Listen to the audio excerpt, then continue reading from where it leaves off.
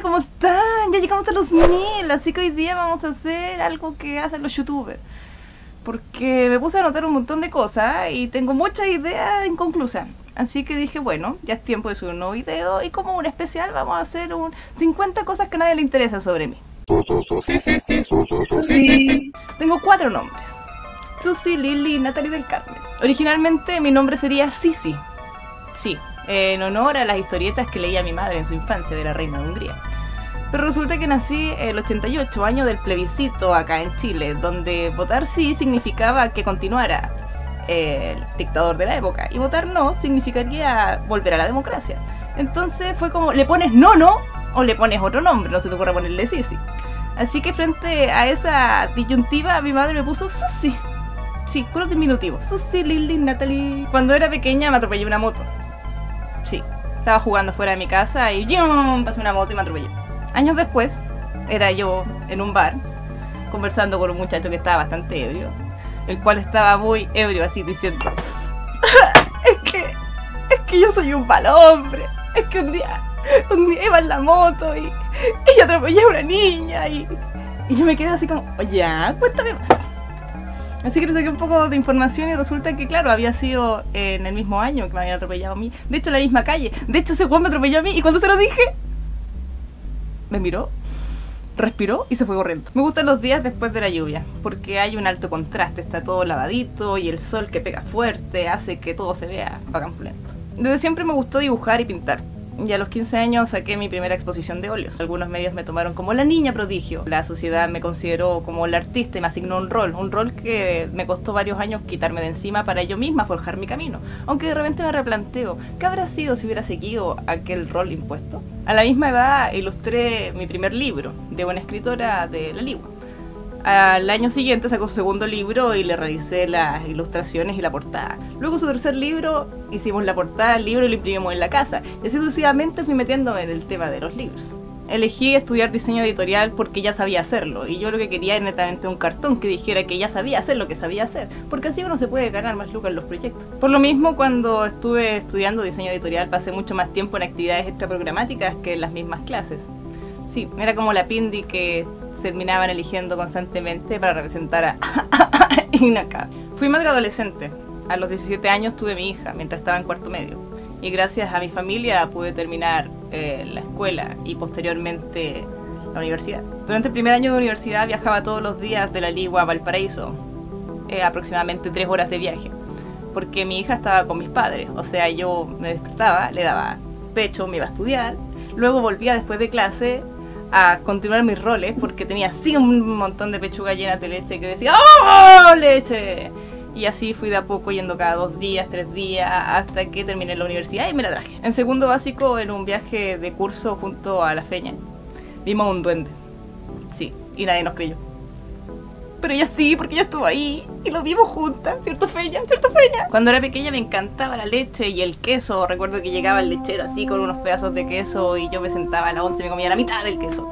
Lo que hizo que me diera un ataque al hígado que casi termina en cirrosis por exceso de leche. Y ese fue uno de los primeros paradigmas que cayó. No todo lo que dicen que es bueno, porque en ese tiempo la leche era buena, eh, realmente lo es. Para el terremoto del 2010 me pasé la mitad del terremoto que creo que fueron como tres minutos, intentando poniéndome... es que me da risa. Pasé la mitad del terremoto tratando de ponerme los calzones. Sí, así como, ¡oh! Y saltaba para allá y para acá y no podía porque estaba al revés. Fue, fue horrible. Fue horrible. Siempre he soñado con tsunamis. El primer tsunami que vi en mi vida fue un sueño. Después, años después, comprendí en la escuela cuando nos hablaban de aquello. Después vi imágenes del de Sumatra pero siempre he soñado con tsunamis.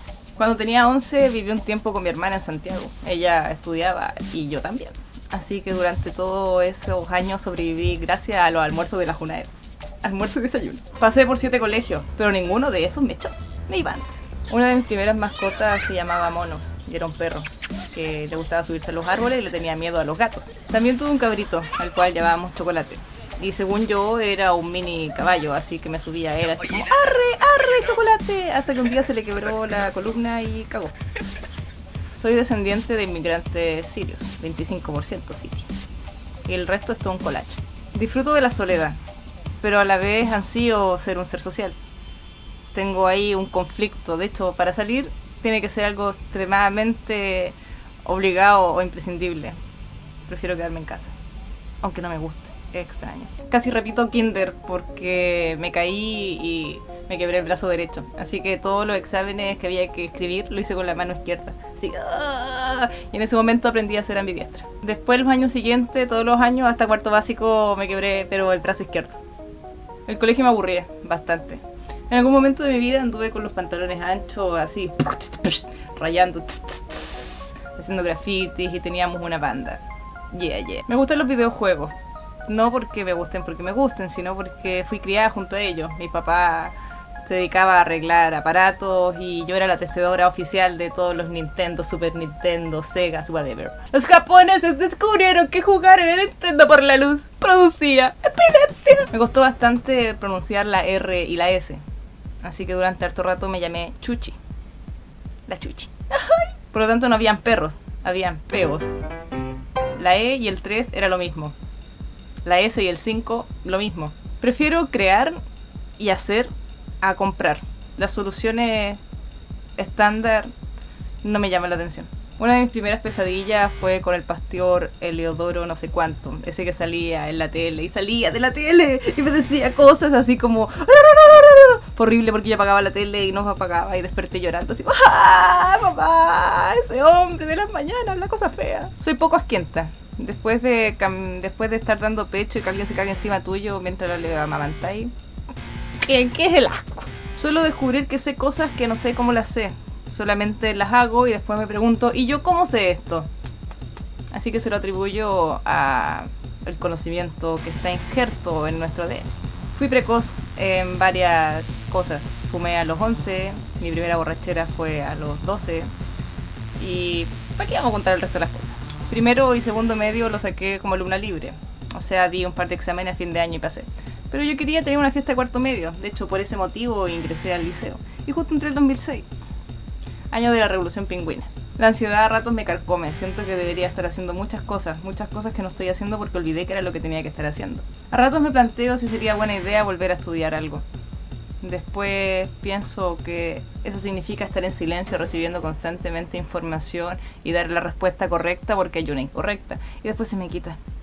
Tengo más incertidumbres que certezas. Durante algún momento de mi vida pensé que era un ser asexuado, ya que todas mis compañeras andaban con sus pololos y a mí no me llamaba la atención. Hasta que caché que en realidad no me gustaban los vinos. Prefiero una fiesta con buena conversa y buena gente a con excesos y mucho ruido. Apagué la tele cuando aparecieron los reality. Me es mucho más fácil desestructurar algo que ya existe a crear algo de cero.